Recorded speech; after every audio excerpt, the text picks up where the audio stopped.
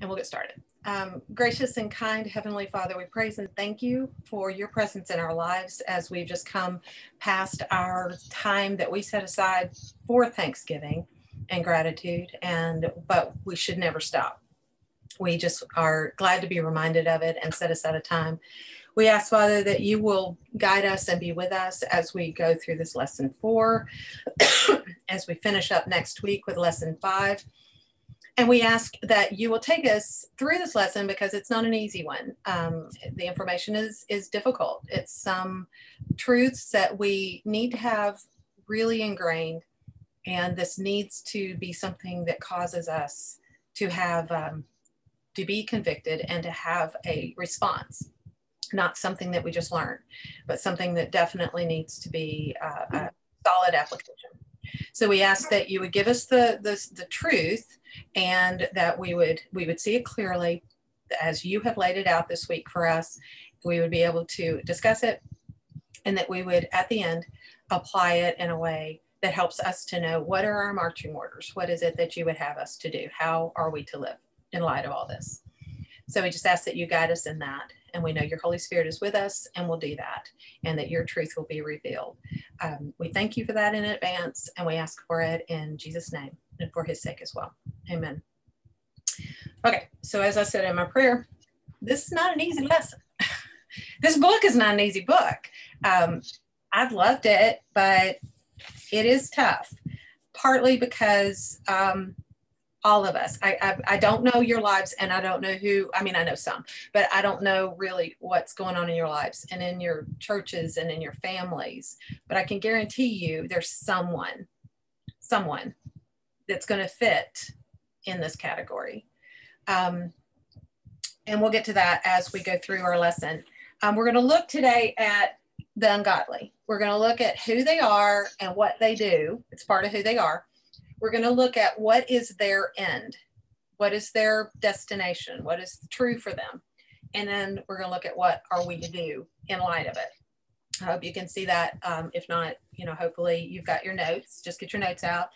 Um, so as we look in the book of Jude, um, we know this book, we're going to do a little review. We know this book was written by a man named Jude, short for Judas, we believe. We believe this is the half, half brother of Jesus. We know it's the brother of James. We believe that is the James that wrote the book of James and is also the half brother of Jesus. So these were two men that were not believers during Jesus's earthly life and ministry, but they have become believers, strong believers. And we also know, like, I don't know what your story is, but you probably have a similar story. If you were raised in church, there was a point in time that you became a Christian, but all of that prior exposure, Sunday school lessons, maybe even Bible study, because in my case, I was a, an adult. All of that, like, is just kind of in your pocket as you become a Christian. It's not like as you become a Christian suddenly. Now, there are some people, obviously, that had zero Christian background prior to being saved. If that's true of you, then maybe everything post salvation was new and, and learned by you. But chances are you had some exposure chances are you had some great little maybe bible stories or, or a child's bible lesson for instance and and and children's church and lessons and things like that that god just used every bit of that from your salvation point forward and helped you understand it better and everything. So similarly with jude with his exposure to jesus all of jesus all his life you know jesus was older but all of his life Jude would have, like, when he came to truth, all of that would have been available. So he's got a background that is incredible when you think about it. Probably might have had a little bit of envy and jealousy because it would have been tough to have been the younger brother of a literally perfect older brother. uh, if you've got siblings, you know, sometimes those sibling relationships can be tough. But here we have Jude. He calls himself a bondservant of Jesus, not a brother. Um, it's an interesting point. He does call himself a brother to James, but not to Jesus. And he says of himself that he's called and he's beloved. He's among those he's speaking to um, as he writes this letter. We know this, this is a letter. We know it's from him to a group of people. They're not named as far as like to identify a town, for instance. We just know he's writing to believers. And we know he had a purpose in his writing that changed. Um, his purpose at start was to talk about their common salvation, meaning they're all saved. Instead, he wrote to them about what we're going to talk about today. And one of those things in verse three is that they, so his purpose is that they do what?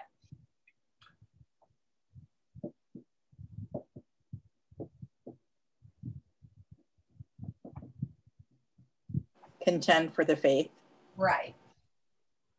And that is true for us as well, is that they are to contend earnestly for the faith, and so are we. And the reason is these ungodly people or these certain persons have done what?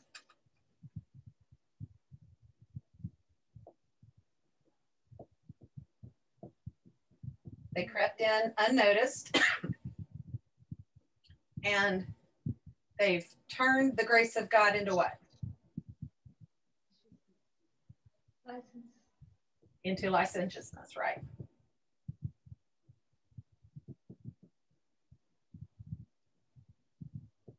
And they deny who? Jesus.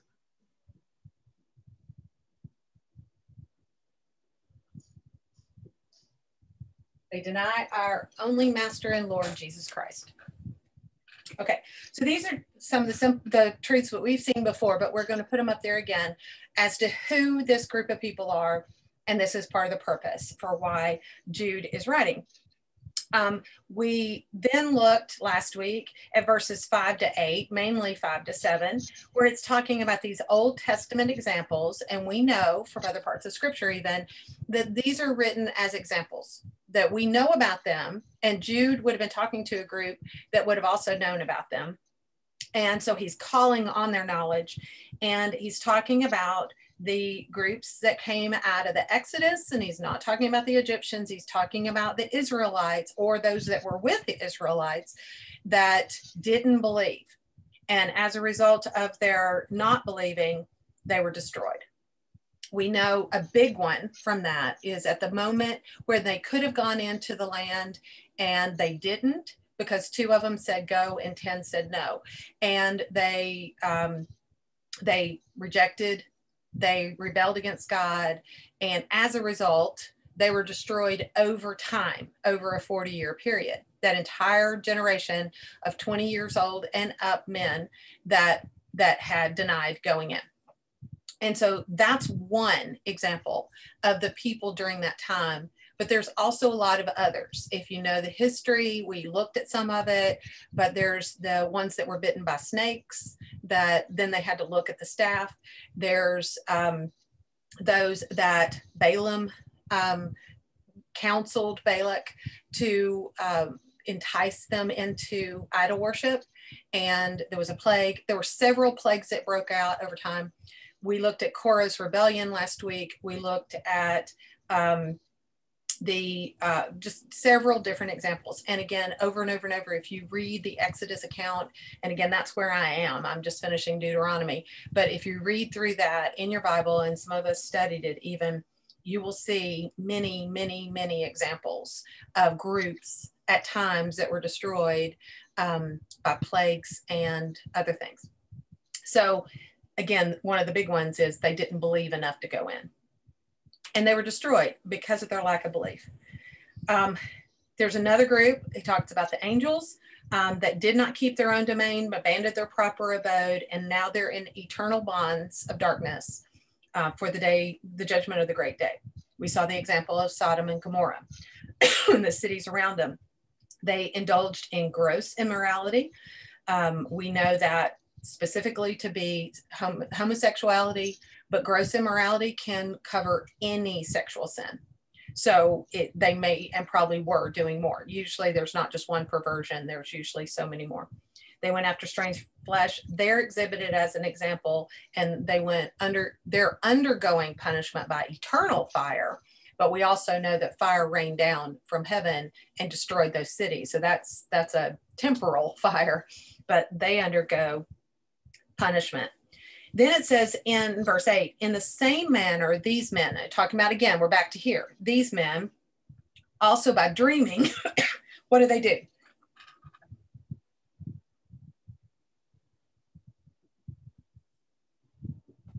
Defile the flesh and reject authority. Right. Defile the flesh, reject authority. What else do they do? They angelic majesties. They, yes, they revile the angelic majesties. Okay. Now it's it's relating um, in the same manner, meaning talking about the the people that are discussed in Sodom and Gomorrah, for instance, and even the angels, and the ones that were of the Exodus, also did these things. Each time it's it's linking them. So it's saying in the same manner, these men, the men that Jude is talking about during his time, it says also by dreaming. So sometimes their imaginations or they come up with these ideas or whatever. They defile the flesh just like these did. They rejected authority, just like these did that we saw before, and they revile angelic majesties. Now, that one is more linked to the next verse than it is as much, but it's saying that's what happened before as well. Angels even can revile angels and angelic majesties. There is a hierarchy among angels, for instance, because as we looked up this week with Michael, Michael's called in verse 9. What is Michael called? Archangel. Called an archangel. That's in hierarchy. In other words, he would be above a group, let's say, of angels. So Michael is not a person, he's an archangel. And what did Michael do in verse 9?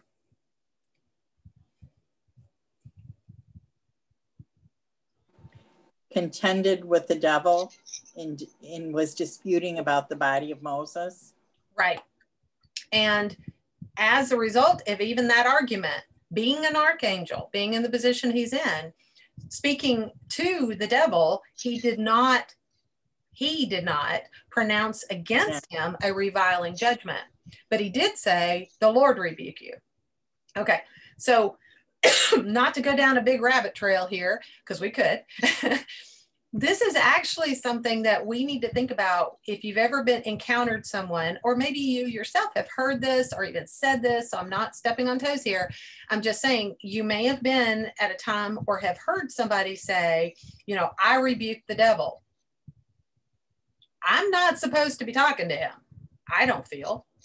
And I certainly don't have the power or the position that Michael has. Not at this point, not as an uh, not as a human. I'm made a little lower than the angels, Hebrews tells us. So Michael, being above even some angels, has a much higher power and position than I do currently. And he did not feel it was within his realm to, to uh, pronounce a railing judgment against the devil. He did say, the Lord rebuke you. So if you want to take anything from this, say, if you feel like you're under spiritual warfare and that's valid, it's true and it's valid. Satan is alive and well doing his stuff. Um, and he's got a lot of workers. And if you really feel, and Ephesians tells us that our, our battle is not against flesh and blood, it's against those realms, those angelic majesties, for instance. It's not our place to pronounce a railing judgment. It's our place possibly to say, the Lord rebuke you. You know, ask God for help. Ask God to take care of it. Recognize it for what it is. So if you've ever or you've ever heard of someone saying, you know, I bound Satan, I don't have that power. And I would just caution you to not start those those conversations, not start those things. But the real the first word of nine is the word but. It is a contrast to the end of verse eight, where it's saying these people feel like they have the power to revile angelic majesties, whereas Michael did not feel he had the ability to uh, pronounce a railing judgment. He did argue, and he argued over the body of Moses. Now, there's no cross reference for this There is no place in scripture that it tells us otherwise, uh, uh, except for here, other place that tells anything about arguing over the body of Moses. I don't know if you went and looked it up, but we know Moses died because there's people that say he didn't. He did die because God says he did, and God buried him. Maybe through Michael. I mean, maybe that it doesn't say that in scripture, but maybe from Jude we can say Michael was the one that made sure that he got buried. Um, but God did that, and he says this so that they would not. Well, I can't remember if he says this or if I'm thinking this. So let me just say, I think the reason that God buried Moses is so they wouldn't make a shrine out of him and they wouldn't go and worship at his burial place. I think it's the same thing with Jesus. We're not really sure the tomb we can go to Israel and we can see in Jerusalem tombs like where Jesus might be buried. And there are groups that believe they know which tomb it was. I'm just saying, I think the reason God doesn't show us those things is so we don't go to those places and make them into a shrine because Jesus' death is important, but he didn't stay there. That's what's important, is that he left the tomb. That's what's important. So these, in contrast, they revile angelic majesties. We shouldn't, and Michael didn't feel like he should. So there's a huge contrast there. And then we see, um, and you can put the contrast up there. You can just say like contrast to Michael.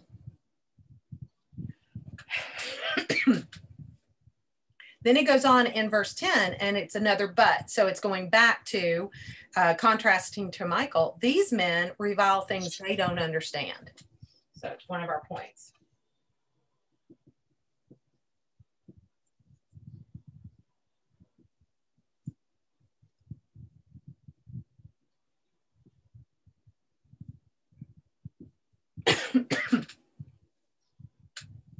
And then it says, and then, then the things they know by instinct, like unreasoning animals, by these things they're destroyed. So have you ever known somebody like this that just like everything they did was was we wouldn't necessarily say purposely animalistic, but they don't think and they don't use reason and logic and they don't they just they just react and and we even have commercials out there just do it you know do what feels good whatever else. That's the kind of idea here to an extreme. So they're like unreasoning animals.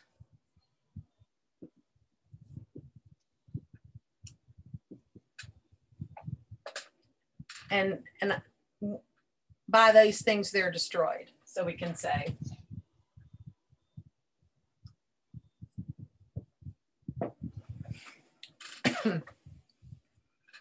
when my sons were playing football in the local high school, the behavior they described in the locker room was this. I, and I used to say it all the time. You know, animals have no self control. As humans, we're supposed to exhibit self control. As Christians, we're definitely supposed to, it's a fruit of the spirit, is self control. Um, to give yourself the excuse that I just couldn't help myself. And I don't care what you're talking about, you need to stop. I mean, if I say that, if I think that, I need to stop because I have the Holy Spirit in me. I am a human that can think. I have the ability, even before salvation, I have the ability to exhibit self control. With the Holy Spirit, I have zero excuse. So keep in mind that that's a huge contrast to this group that just does whatever they want it's the word sensuality, when we looked up licentiousness, if you remember this, the word sensuality came up. And anytime I used to hear the word sensuality, I would think like of a sensual woman, you know, a woman that was dressing a certain way and purposely flirting or whatever. That was the image I had, which is not wrong, but it's a small part of sensuality. So basically, just take the word senses, our senses, and we've got five of them and that's the sight, smell, touch, taste, and hearing. Those are our five senses. Thank you. There's, I knew there was one coming. Um, those are our five senses. If we're satisfying our senses, that's sensuality. That's sensuality. It's so simple. You are just gratifying your flesh. Now, obviously, there's an extreme version of this, but just be careful that, again, and I'm going to use what I said earlier don't eat sugar. Um, you know, and I'm not saying that if you eat one bite of sugar or you eat one piece of pie or whatever, that you're a horrible person and you end up on this list. I'm not saying that. But if you tell yourself, you know, I can indulge, I can whatever, then you need to maybe stop and ask yourself, is that exhibiting self control? Am I just satisfying my senses? If it's just part of your celebration and it's not an act of sin, that's a different issue just kind of walk that line and try to decide. And of course, there is a slippery slope, as we know. If you start down a path, if, if you have an issue with weight, for instance, and I'm still trying to lose weight, then I can't tell myself this is not going to hurt me, you know, or this one little thing, because that one little thing usually leads to another little thing, to another little thing, and it snowballs. So just think about that. Unreasoning animals do not stop and think they don't think of the consequences. They just act on their flesh. And that's what these people are likened to. So be careful with that. And they're destroyed by it. So put that over there in your what's their end. Now, in verses 11 and on, it says they've gone the way of Cain, they've rushed headlong into the era of Balaam, and they have perished in the rebellion of Korah. Okay, so I'm just going to put those names up here Cain, Balaam, and Korah. Um, we know probably the story of Cain pretty well. One of the earliest stories of the Bible. And we know ultimately Cain murdered his brother. Um, there was a path he went down to get there. As you looked up the story this week, you, if to be reminded of it and to remind of the details, the two brothers brought their sacrifices to God. Interestingly enough, there's nothing prior to that that describes why. There's no there's no law. There is no God told them to. Um, there's there's a lot of stuff that you just kind of have to read and wonder about. Um, and there's a lot of people that will explain away the difference in their sacrifices as one being an animal sacrifices where one was not. Cain's was not. But we also know years later, thousands of years later, in the law, that grain offerings and libations, meaning pouring out oils or pouring out wine, all of those were part of the sacrificial system as well as the animal sacrifices. So I don't necessarily look at Cain's sacrifice, what he brought, which was his work. That was his task, his plants. And he brought that to God. I'm not going to be able to say that it was wrong. God said it was not acceptable. That's all we know. God said it wasn't acceptable. So, from that, even if in that moment that was when Cain got his instruction. What did he do after that?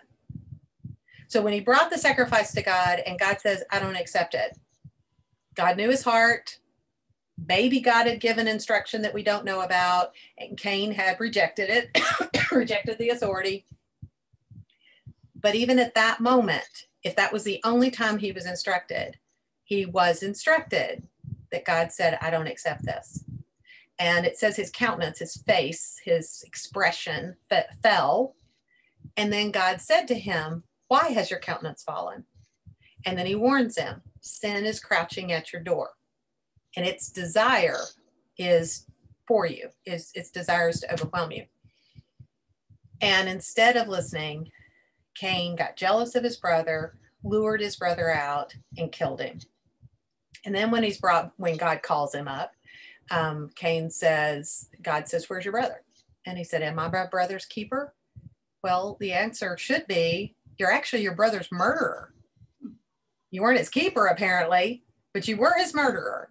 Um, and then God says, the, the ground cries out from his blood. It's a very interesting thing to say.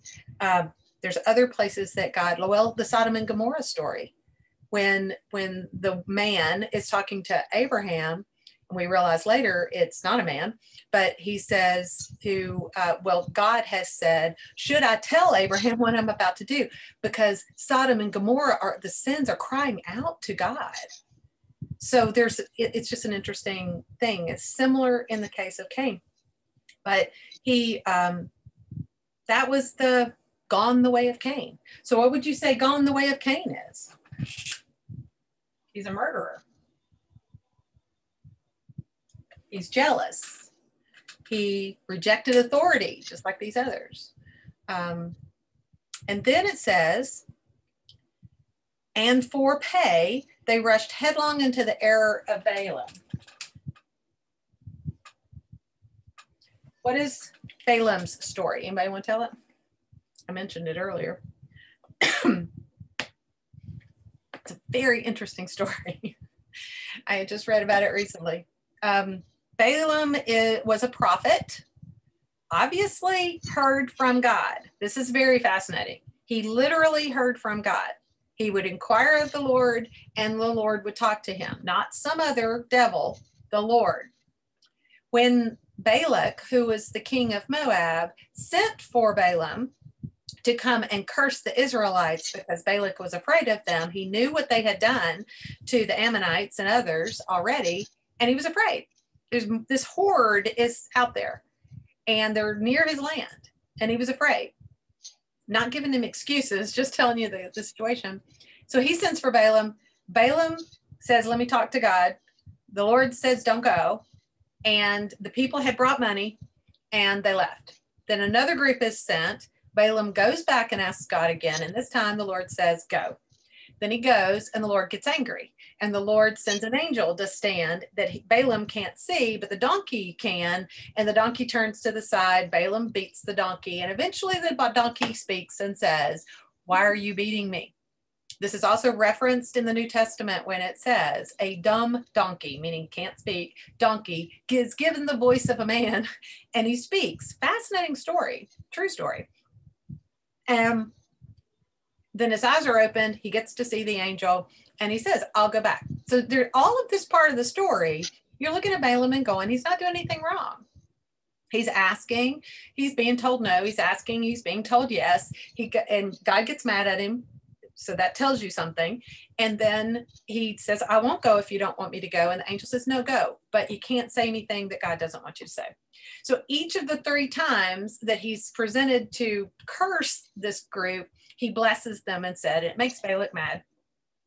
And that seems to be the end of the story until you go a few chapters over and you see that as they stayed near this the Moabites and the Midianites, the women entice the men into idol worship, bringing them to their feasts, feeding them food sacrificed to idols, and sexual immorality, sleeping with them. A plague breaks out, and the son of Aaron, Phineas, um, stabs two of them, and it stops the plague. So we know God's pleased, and God even says, Your house will be blessed forever because of what you did. So, what we don't know yet is why did these Moabite women do this? Why did these Midianites and Moabites, why did they do this? How did they know to do this? And what we see in the story is that's what Balaam counseled. He knew he could not curse them because God put the words in his mouth and he couldn't not say what God told him to say. He knew that God says, I'm not going to let you curse them because they're my people and they're blessed. The people kept bringing him money and he even said, If you gave me everything in your kingdom, I can't not say what God wants me to say. But apparently he wanted the money because it says for pay. They entered into or rushed headlong into the error of Balaam. The error of Balaam is to be counseled to go into idolatry and sexual immorality. And Balaam did it for pay. He got paid to counsel them. So I call this the backdoor approach. If you can't go through the front door, you go get them through the back door. So if you can't directly curse them, you let them go into behavior that is going to destroy them. That's another group of people that were destroyed. So that's the error of Balaam. Now, perished in the rebellion of Korah. You read about Korah this week. What did who did Korah speak out against? Do you remember the story? Moses Yes, and and um, I didn't write down the other. His Moses brother. and Aaron. Aaron. Oh, yeah, Aaron. Yes. Moses and Aaron. Basically, Korah was a Levite, which means he wasn't of Aaron's line. He was not going to be in the priests, but the Levites were set aside for the temple service. The Levites, the others other than Aaron and his line, were going to help serve Aaron and his family, and were going to do all of the service of the uh, temple later tabernacle during the Exodus time frame. And they were not going to get land. They well, they weren't going to get a section of land. They got land within cities and they were taken care of by the sacrificial system. Okay, so that's that's the, the fate and the of the Levites. Korah, who was a Levite, and then Dathan and Abiram, who were Reubenites and something else, um, decided they were just as good as Moses and Aaron and basically said, Who do you think you are that you're saying that you're more holy than us? All of us are holy. And Moses and Aaron got down on their faces and said, We'll let God decide. So the next day, they had told 250 men that were with them to put fire in their censers, and censers just like a pan. Um, or a um, even a censer can be a holder but anyway they put fire and incense and burn it before the lord the next morning first thing and then god would decide okay so between who god decided did he decide for aaron and moses or did he decide for korah and his group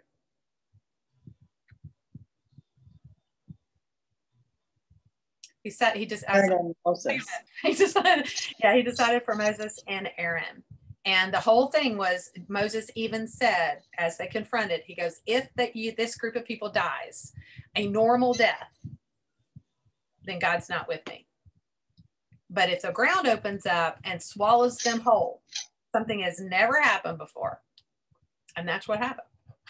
And the people that were around them that had kind of come along with them were warned and said, step back and step away, or you're perishing with them.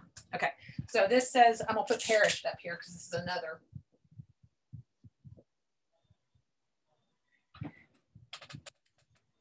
And that's what happened. 200, well, the, the ground swallowed up Korah and those that were with him. The 250 with fire pans were burned to a crisp.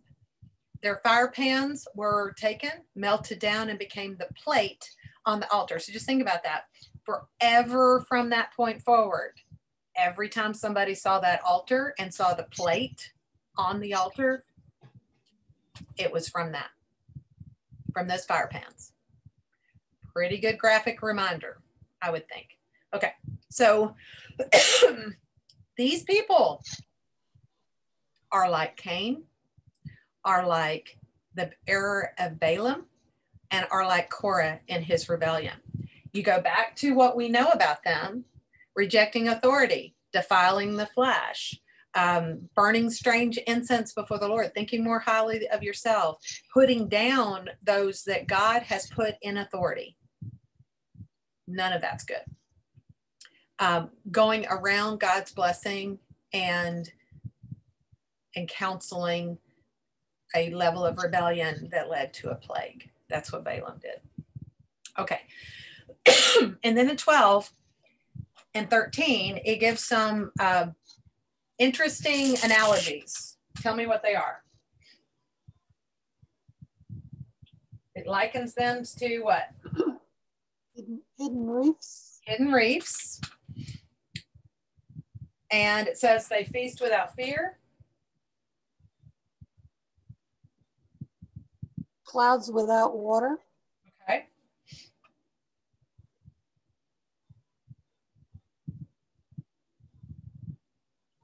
Carried along by winds, Right.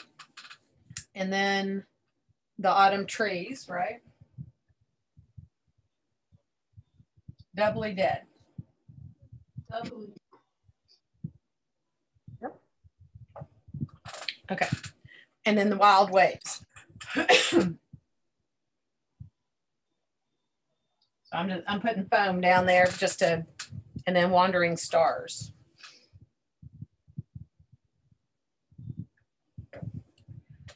Okay, so we could go into great detail about every one of these, but we just, we really do want to look at them and see when you think of hidden reefs, if you were a sailor and you were on a ship, or I think I mentioned this in a previous lesson, we had just watched Swiss Family Robinson recently, um, and you know the scene where the ship crashes up against the rocks. Um, those were actually exposed rocks. So let's think about um, when those of us that did the Acts study remember Paul's harrowing journey to Rome. There's a point where the sailors were very, very, very concerned about this one area because they knew there were shoals and reefs underneath the water, and they were in the middle of a storm. So they didn't couldn't necessarily navigate and know exactly where they were going, but it was a huge concern because if you've got hidden reefs underneath the surface, what's going to happen to your boat?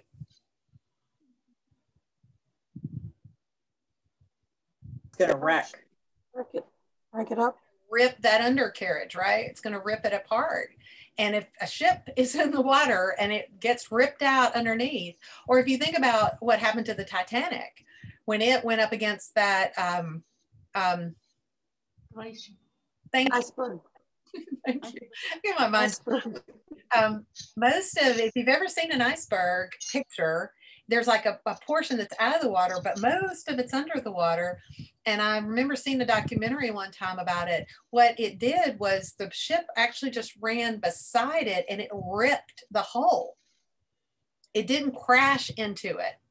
It just ripped right. It'd be like taking a, a like, you know, you've heard of somebody keying a car.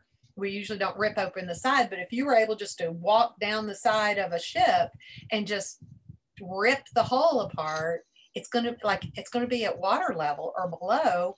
What's going to happen? It's going to fill up. That's what happens with hidden reefs. They're hidden, they're secret. Remember, these people crept in unnoticed. And then it says about them being hidden reefs, they're coming to their love fests. Now, these are probably their communal meals. It could be their communion or Lord's Supper time frame, but their festivals, their gatherings, their eating together, anytime that they're gathering their love feast, they feast with you without fear. They're very comfortable.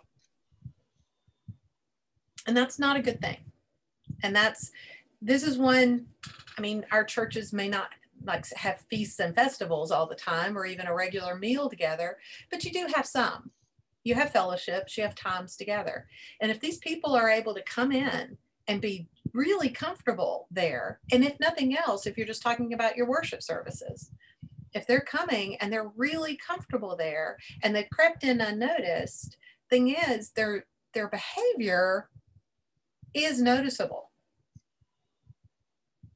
That's the difference. It's not, don't give, I'm, I'm not giving myself the excuse of saying, well, we just don't know.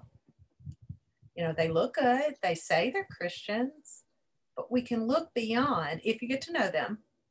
At first, you may not know, but after a while, you're going to know. So while they're hidden reefs, they're still there. And most sailors would have maps charted for those, and they would want to avoid them. Or we have lighthouses that warn and tell you to stay at a distance to know not to come in. Then it says, and, the, and they're caring for themselves. And then it says they're clouds without water carried along by the winds.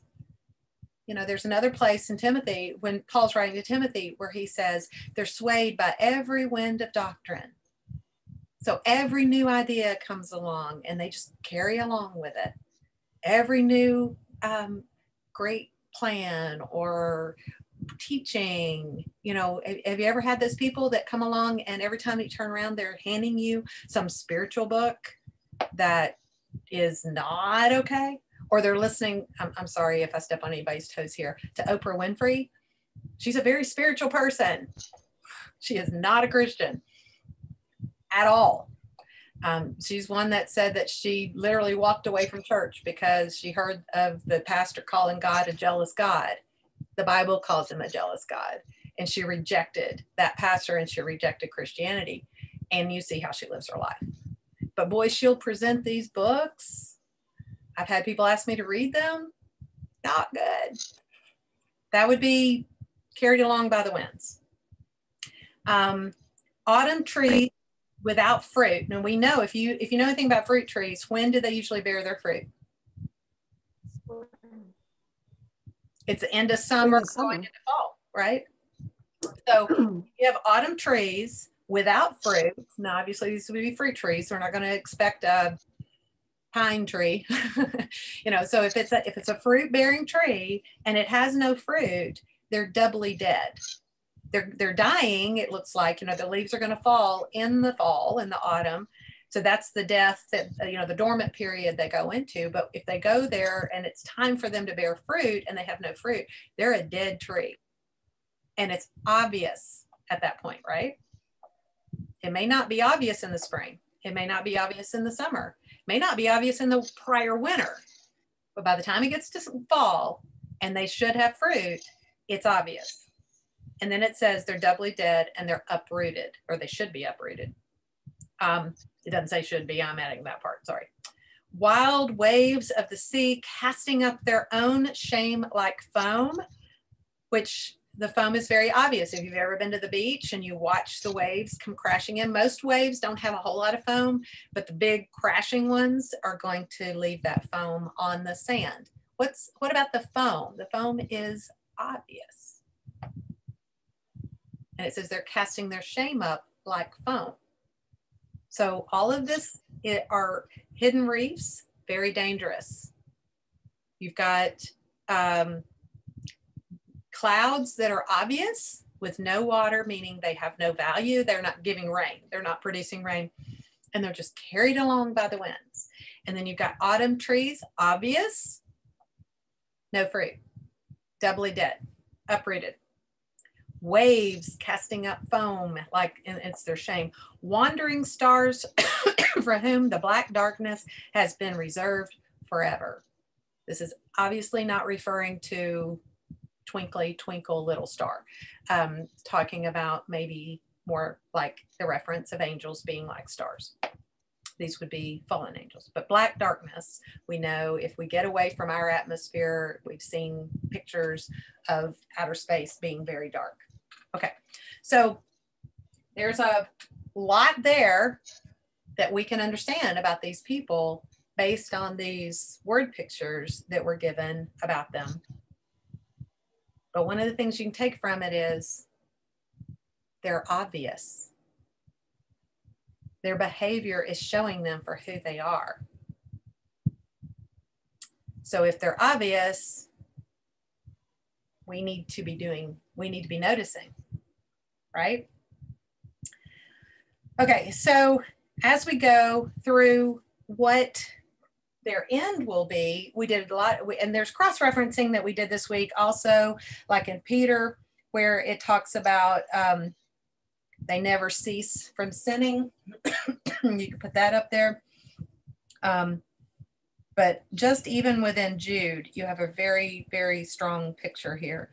Um, and even if you go down to verse 16, it calls them, I'm running out of room here. I'll put it over here. They're grumblers. They find fault. What else does it say about them?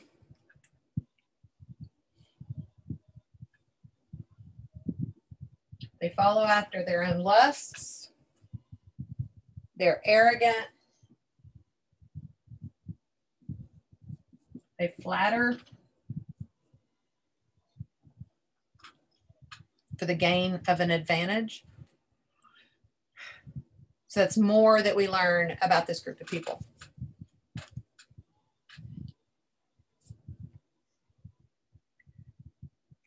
Now, as we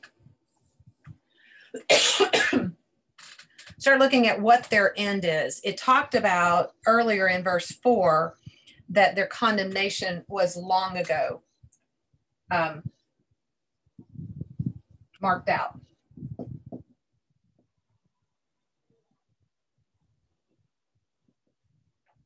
And we saw that that was like written down. It was absolute. It has already been determined. Um, they were destroyed like the Israelites. They perished like Korah, or giving that analogy of Korah. They were judged just like the angels.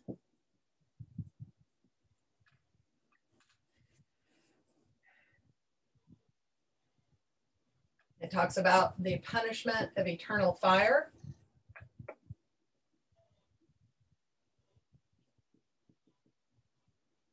And eternal bonds, like the angels. They were destroyed by the things they um, know by instinct. It also talks about, it gives the word woe, which is never good from God. They're doubly dead.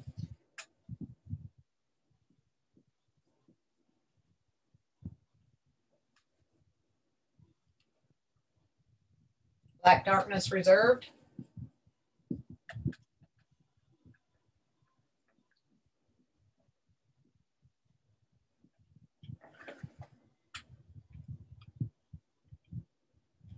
And then uh, when you start looking in verse 14, like what we learned from Enoch, um, it says, The Lord will come with many thousands of his holy ones to execute judgment upon all and to convict all the ungodly of their ungodly deeds, which they have done in an ungodly way. So that you don't mistake ungodly, ungodly. And all of the harsh things which ungodly sinners have spoken against them. So the Lord is coming He judges, he convicts according to their deeds.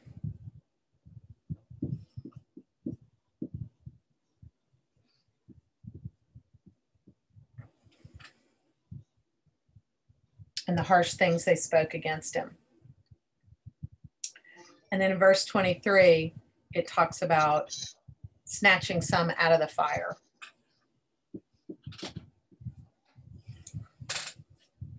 So, according to what we saw in Jude, but also what you saw in other cross referencing this week, what's going to happen to what we can look out our windows and see right now? What's going to happen to this earth? What's going to happen to what we know of creation? All of what God has created. What's going to happen? It's going to be destroyed by fire. Right the elements are going to be melted it's going to be destroyed by fire. There's not going to be any of what we know left right? Right. And but we can look forward to what? What are we looking for to happen after it's all destroyed? The new the new kingdom of the god's kingdom that will live eternally with him. Right. So there's going to be a new heaven and new yes. earth and we're going to be with him eternally. Yeah. Um, so as we look at what are we to do, we're to be looking for that. Sorry, I just put it up here, but we're to look for this. But that doesn't mean we bring it about, but it means as we're living now, we have this hope and it should affect us somehow. It should affect our conduct. But we also need to start with we are to contend earnestly for the faith, which was once for all delivered to the saints. That's us. It was it was delivered once, but to each of us over and over and over over time. We're also in verse 17 the through 19, we're to remember the words spoken by the prophets.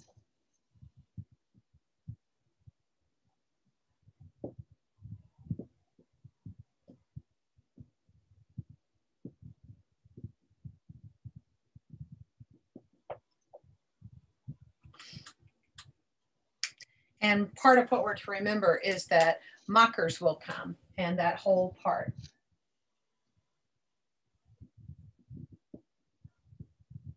That's what we see also in um, Second Peter. That those mockers will come, and in Second Peter, it was talking about those mockers are going to come and they're going to claim that nothing has changed from creation to now.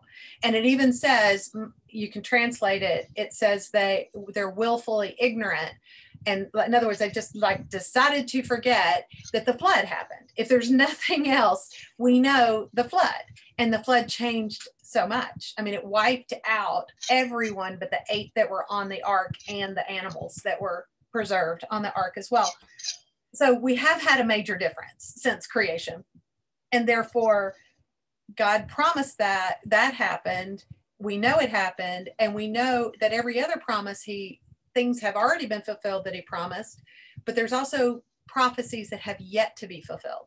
And they are as certain to happen as the ones that have already happened.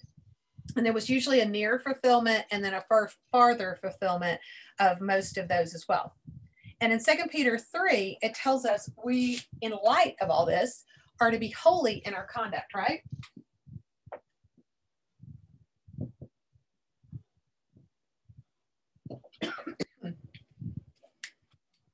Probably heard there's two books. One is How Now Shall We Live, and the other is How How something very similar. it's a little bit a rearrangement of the words, and it comes from this passage. How should we live in light of this? All of this. How should we live in light? Okay. And I'm just going to present one thing. You're probably not on this list. If you're here, you're probably not on this list so you could dismiss all this and say, I'm not doing these things, so I'm good. And, and I will praise you. That's great. But we have more to do.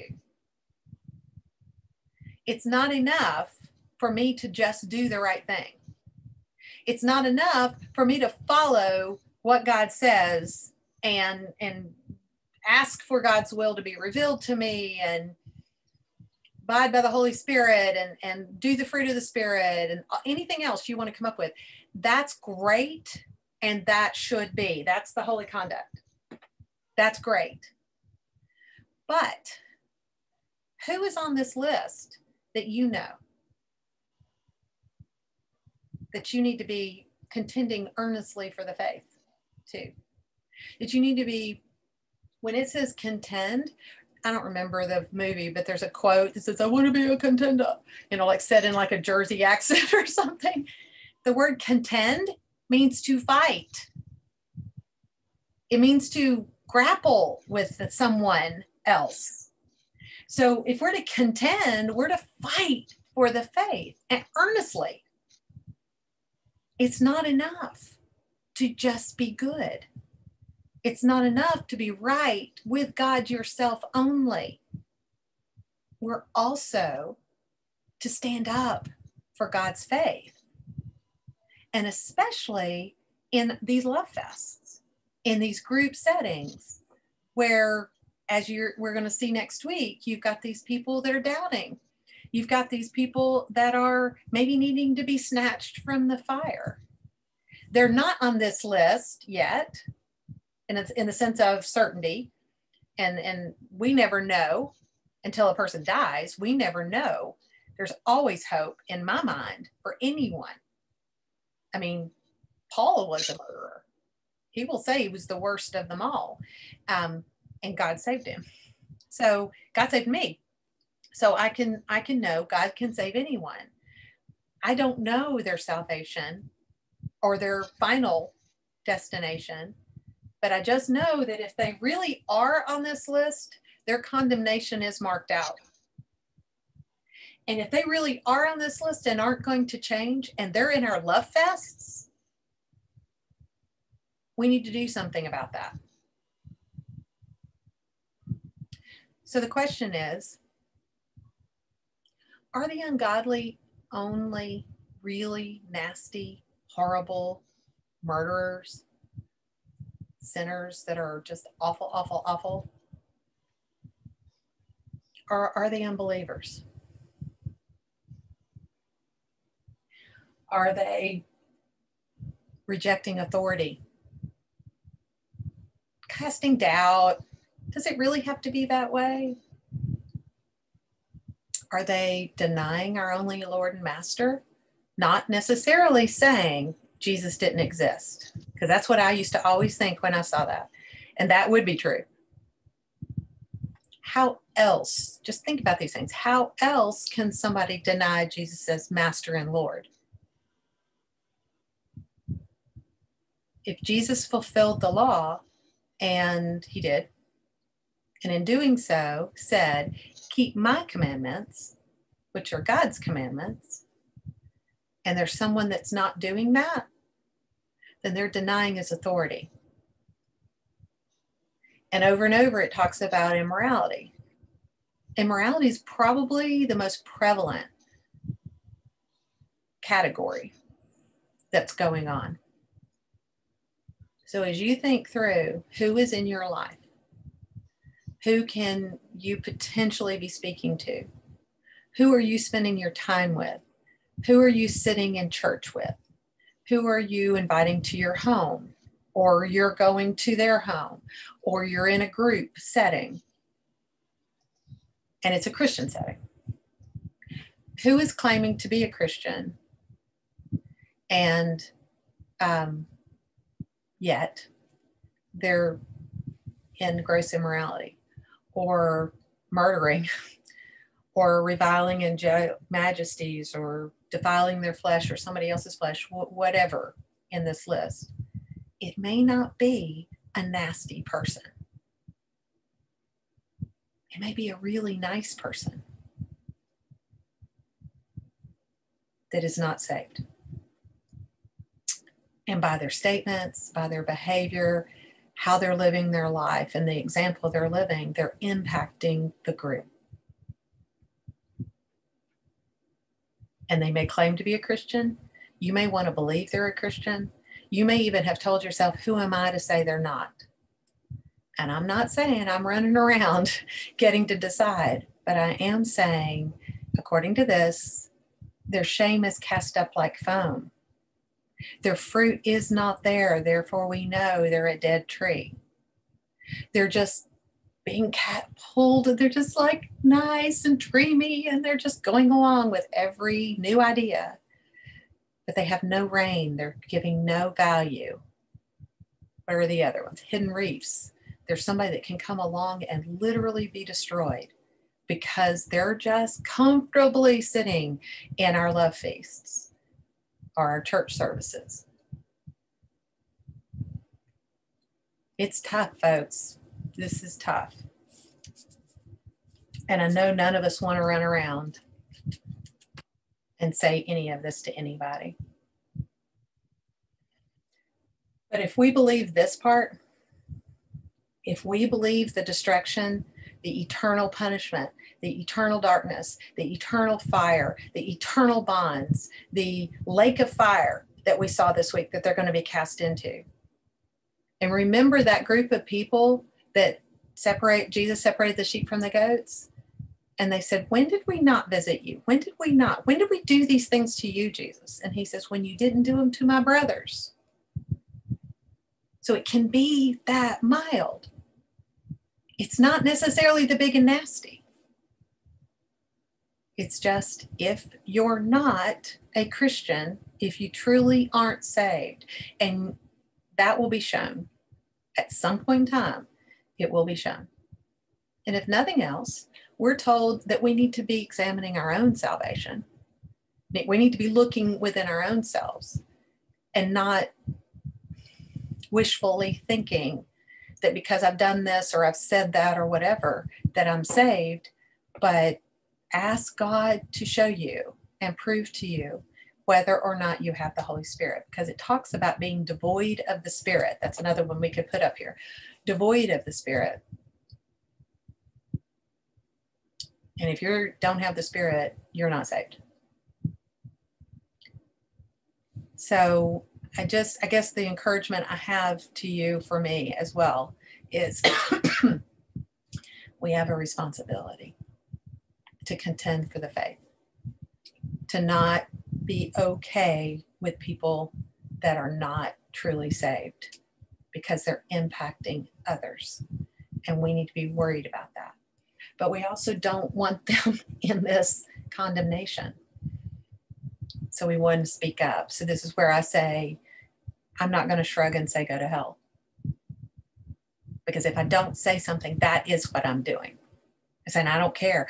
I don't care if this happens to you. I just care about me. I care about me not being uncomfortable. I care about me being liked by you. Many of you have heard me say these things before, it comes up so many times in scripture. And part of it's because I've had to be convicted about this. And over and over and over again, I've had to be convicted. Like, do I care enough? You know, when, when Jesus directs us, or through Paul or whoever, to love our enemies, he doesn't say they're not your enemy. He says they are your enemy and to love them. And it's not going to be an emotion. I'm not going to be able to drum up that feeling. It's going to be a conscious choice on my part to care enough about their eternal state to say something to them or pray for them. You know, I may not be able to physically be with them or talk to them. They may have kicked me out of their life, um, but I may be able to pray for them that somebody would come in and the truth would be revealed. That's loving them. That's not saying, I hate them and I want them to go to hell. I don't want that for anybody. So, anybody have any other that they came up with this week or something we didn't cover? There's a lot. Amazing how parallel Second Peter is.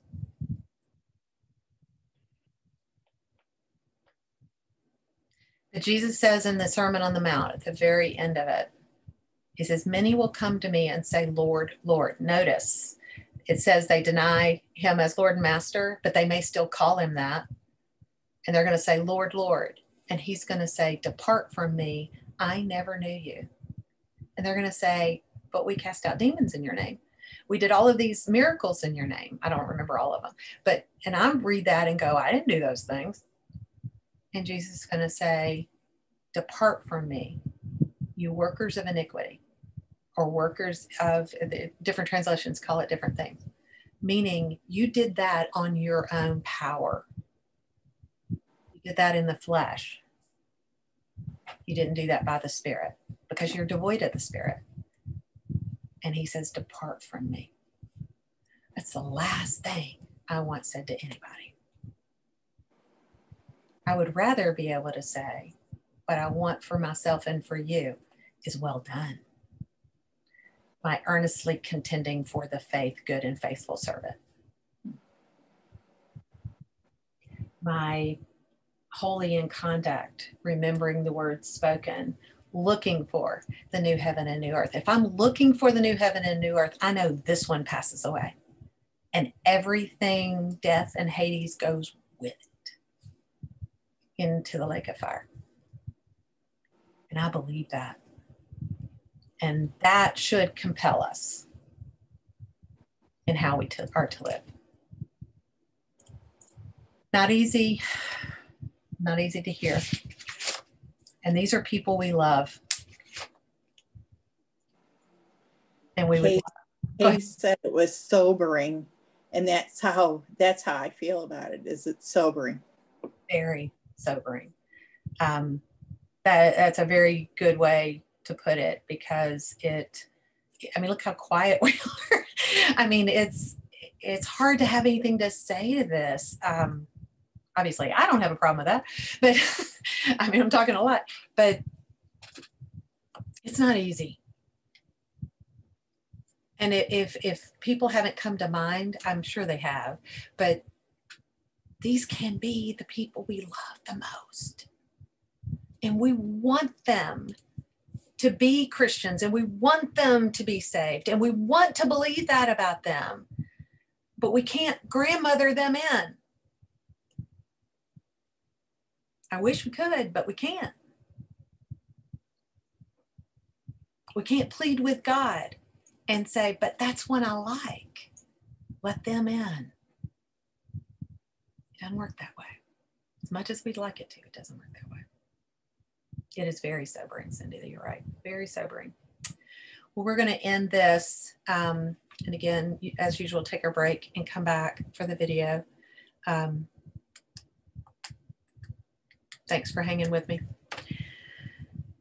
Heavenly Father, we thank you for this sobering truth and the and the absoluteness of it and the reality of what it is. Thank you, Father, that we're saved from it, not based on anything we deserved, but based completely and totally on what Jesus did. And all we did was believe it and accept it. And you applied to us salvation, righteousness, justice, mercy, so much mercy and grace. We're so grateful, Father. And from this, Father, we want to have that certainty and that scaredness, that sobering reality of how we are to live, but also how are we to contend for your faith that was once for all delivered to the saints? And in so doing, not deny Jesus, not only as our master and Lord, but the one who saved us, the one who died for all of this, who gave up his life in place of mine. We thank you for it, but it's also sobering. It was a huge, huge, huge price that was paid by someone else on my behalf. I thank you for that. And I thank you for my salvation and for all, everyone's salvation that is here. We ask that you will guide us into this last lesson, but also into the lecture from Kay, into your truth. We ask for it all in Jesus' name. Amen. Stop.